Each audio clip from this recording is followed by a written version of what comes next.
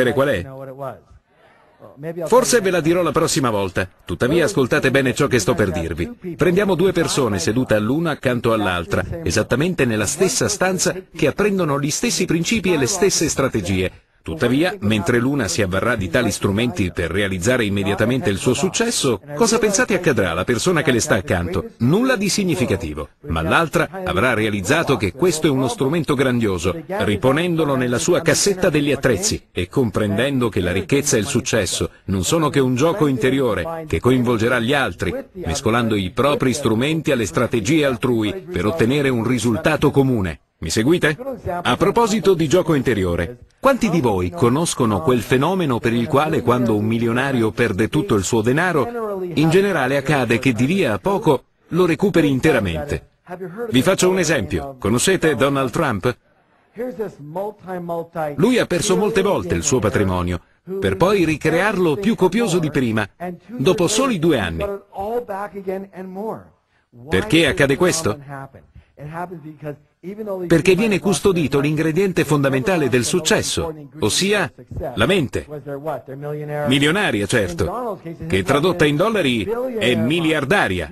Ma voglio chiedere la vostra opinione. Perché Donald Trump non è semplicemente un milionario? Siete pronti?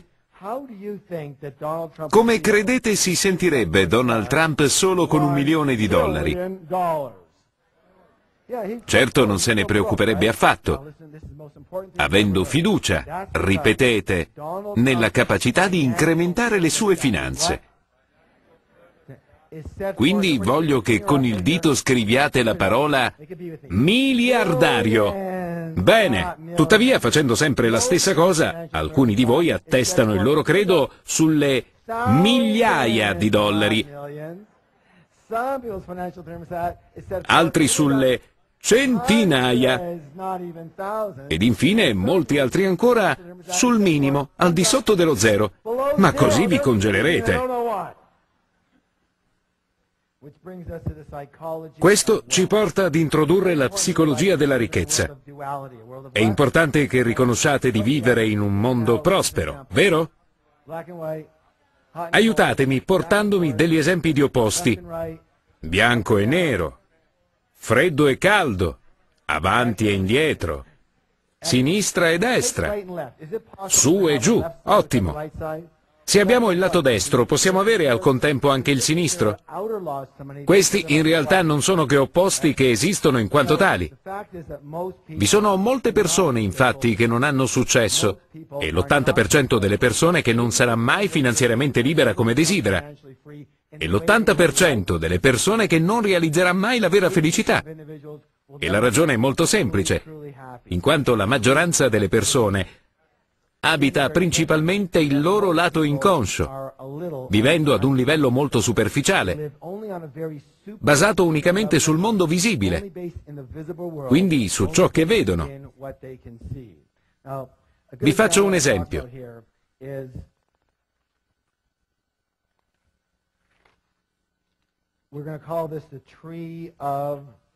Prendiamo quello che viene chiamato albero della vita, sul quale crescono dei frutti che rappresentano nella nostra vita i risultati che non amiamo, che per noi sono troppo esigui. Le spese. E noi cosa facciamo? Tendiamo a focalizzare maggiormente la nostra attenzione su questo, dimenticando la cosa importante, cioè chi ha generato questi frutti. Sono le radici, ciò che sta al di sotto della terra. Questo mondo invisibile da cui ha origine il visibile. Questo accade di rado o sempre? È proprio così, accade sempre. Vi pongo un'altra domanda. Questo accade o non accade in natura? Certo che accade. E voi non fate parte della natura? Quindi avviene lo stesso per noi. Molto bene. Una cosa importante e molto complessa che le persone devono comprendere è che il nostro mondo non è costituito da un solo piano, ma contemporaneamente da quattro piani. Il piano mentale, il piano emozionale, il piano spirituale, e naturalmente il piano fisico-materiale. Ciò che le persone mancano di considerare è che il piano fisico-materiale e i risultati che otteniamo all'interno di esso non sono che la stampa dell'azione degli altri tre piani. Il piano fisico-materiale fornisce i frutti derivanti dalle radici rappresentate dagli altri piani, ossia è il risultato degli altri piani. Il piano fisico-materiale è ciò che si manifesta esteriormente, mentre gli altri tre piani sono la causa nascosta. Perciò esso rappresenta il mondo visibile contro gli altri piani che non sono che il mondo invisibile, causa del mondo visibile. Quindi non concordate che il denaro in un mondo fisico-materiale non è altro che un risultato? I soldi, la ricchezza, la salute, il guadagno, il peso, sono tutti il risultato di qualcosa. Vi pongo allora questa domanda. A vostro avviso la mancanza di denaro è un problema?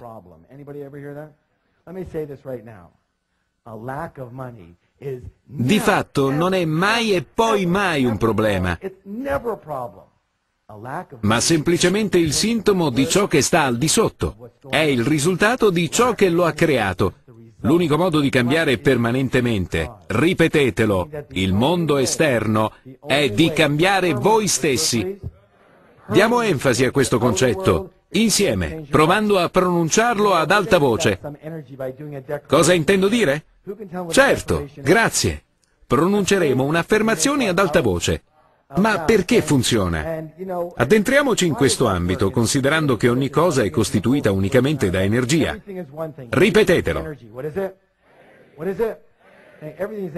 L'energia viaggia attraverso delle frequenze e delle vibrazioni. Quindi, pronunciando un'affermazione ad alta voce, lanciamo una vibrazione nell'universo e ponendo una mano sul petto possiamo sentire la vibrazione di questa affermazione penetrare ogni cellula del nostro corpo. Ma vedo già molti di voi dire, oddio, questo mi sembra un po' strano. E allora vi rispondo, meglio risultare strani ma pieni di soldi che degli squattrinati in regola. Adesso alzatevi in piedi, così ci divertiamo un po'.